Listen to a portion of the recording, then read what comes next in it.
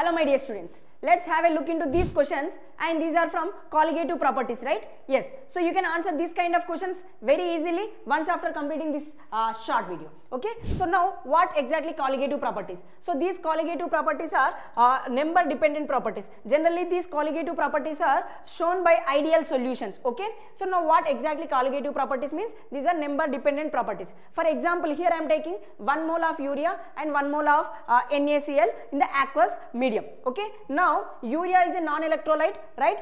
So the number of urea particles will be same. 1 mole of urea particles will be there. But when we add NaCl, we will be getting 1 mole of Na plus ions and 1 mole of Cl minus ions. Now number of particles is how many now? We have 2 moles of particles we have. Therefore number of particles increasing now. So all these properties also increases for this okay? I mean this for nacl it is almost double of of the urea. The colligative properties of nacl will be double of this urea. Why it is because these colligative properties all these are just number dependent properties. Now what you can understand from this? So all these. So directly you can write directly proportional to number of particles in that particular solution right so which is indicated by Van't Hoff factor I okay? So for all these particles if they ask you to arrange them based on the colligative properties order as I have shown you directly proportional to I. So you will get more clarity by looking into this question. See for all of them I have mentioned with same concentration molality okay? Now I am asking them to arrange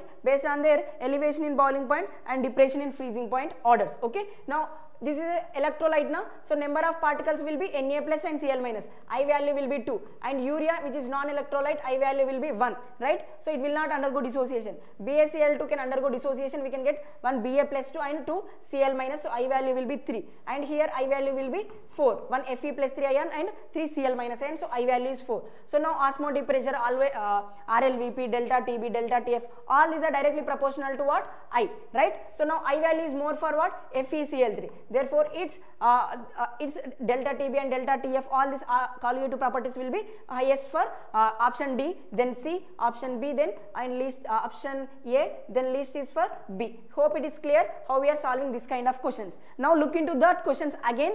Uh, just pause the video and look into that questions. You can easily answer those videos those questions okay? Now look into this here.